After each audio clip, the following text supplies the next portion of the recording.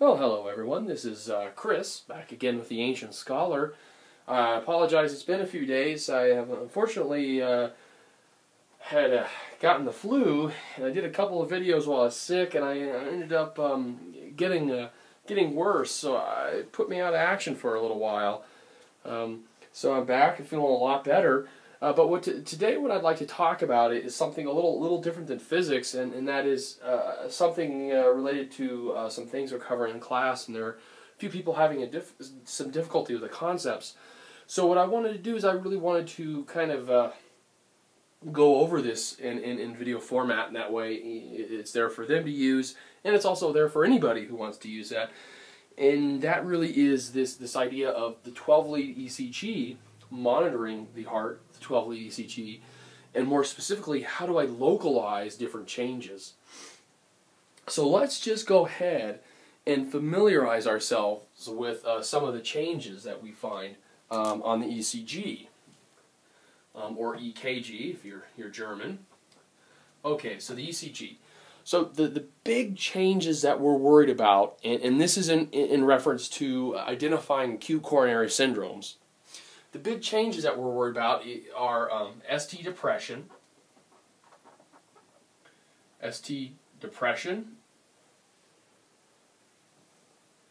ST elevation, and pathologic Q waves. Pathological Q waves. So let's just go ahead and break these down if, if we can real quick, and we'll go ahead and talk about ST uh, depression first. Uh, ST depression, so if you look at your um, ECG, and uh, we'll just go ahead and look at a normal uh, waveform, and I'm assuming you guys are, are familiar with the, the, the normal, uh, most of your, your normal val your, your normal intervals and so on.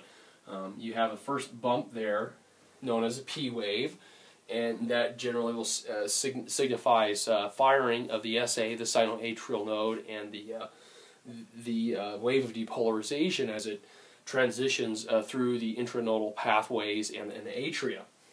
And then you have a little pause, and then you have your first downward deflection that's called your Q wave, and um, your R wave is the upward deflection, your S wave is the downward deflection after the R wave, and then your T wave. Uh, of course, the Q RS complex, as we call it, it signifies the wave depolarization as it moves through the ventricles. And the T wave signifies ventricular repolarization, and that, of course, is, is uh, the sodium potassium ATPase pump uh, working to reestablish the resting membrane potential. Uh, this is done by uh, pumping potassium back into the cell and uh, sodium back out of the cell against their gradients. Um, excuse me. Uh, we also have a couple of interval. You have your what's called your your PR interval, and that is basically uh, the interval from beginning of the P wave to beginning of the QRS wave. Um, of course, you do want a little pause after the P wave uh, because basically the impulse is um, stalled, if you will, slightly at the AV node, and that allows uh, the atri- allows time for the atria to contract and fill the ventricles with blood or to preload the ventricles. And you know, of course, you talked about the Frank Starling's uh, mechanism of a contraction and preloading of ventricles and how important that is for cardiac output. So these are your normal intervals, uh, not necessarily normal intervals, but this is normally what your uh, QRS complex or your PQRST complex should look like. Uh, let's just go ahead and talk about uh, the three things that we can find, and that that is uh, ST depression. Uh, so when your ST segments become depressed, uh, you are going to have something that uh, will look like this. That is an inverted T wave. QRS, something possibly even like that. Again, you have a depressed or inverted T wave. This can mean many things, but in a lot of cases, what we uh, what we look at it as meaning is ischemia. This is a uh, this is a, a classic um, indication of myocardial ischemia. That means that the tissue is not getting as much um, perfusion as it should, it is becoming deprived of oxygen, and is becoming ischemic. It's not dying, it's not infarcting necessarily, but at this point is becoming ischemic and is not particularly happy. Now, ST depression can also be due to certain medications, like digoxin, for example, can produce um, a, what they call an ice cream scoop depression pattern.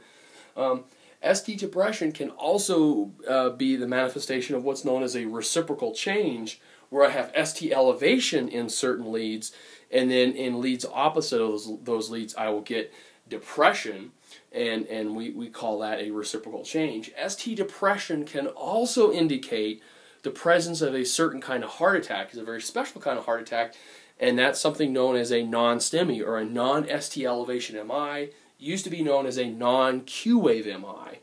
Um, and, and, and, again, that's a very special type of what we call an acute coronary syndrome. Uh, but generally speaking, we can look at this as, as meaning some sort of ischemia occurring. Okay, so ST depression is ischemia. generally speaking, of course. And then we can move on to ST elevation. And this is an elevated ST segment. So I have my P wave here, my QRS complex, and then I have the QRS complex beginning to kind of meld or blend into the T wave. So you can see I do not have return of return to the baseline uh, before I have my T wave. And this is ST elevation. ST elevation is a characteristic finding for injury. So at this point, I actually have injury to the myocardium. And this is generally um, very consistent with an acute coronary syndrome known as ST elevation myocardial infarction or STEMI. This is uh, sort of the bad one. This is the, the kind of uh, acute coronary syndrome that we don't like to see we generally have to intervene uh, fairly, fairly aggressively. Uh, ST elevation uh, can also be manifested in in uh, uh certain types of injury. Uh, perhaps I have some sort of traumatic event, a myocardial contusion. Um, ST elevation can be the result of certain um, blocks. For for example, a bundle branch block can manifest itself as as um, a falsely elevated ST segment. But generally speaking, ST elevation is characteristic of injury. And then the last, but certainly not least, is something known as a pathological Q wave. And a pathological Q wave, normally my Q waves are very small. Once my, but what will happen is sometimes I'll have a Q wave that becomes very large, uh, I believe greater than one third or one half the entire length of the QRS. What that indicates, typically, a pathological Q wave, is its necrosis. It indicates death of myocardial, myocardial uh, tissue. It's necrosis. So when you see ST elevation and pathological Q waves, we know that not only is a heart being injured, but I already have dead tissue that is not functioning. Now, as a person heals from a myocardial um, infarction, the depression and the elevation can go away. However, dead tissue never heals, and the pathologic Q waves remain. Okay, guys, I'm going to cut it off here. That's the end of just the basic stuff that we're looking at to identify an acute coronary syndrome. Next, we'll talk about the coronary artery anatomy and uh, talk about localizing these changes on the 12 lead ECG. Thanks for hanging in there, guys. Take care.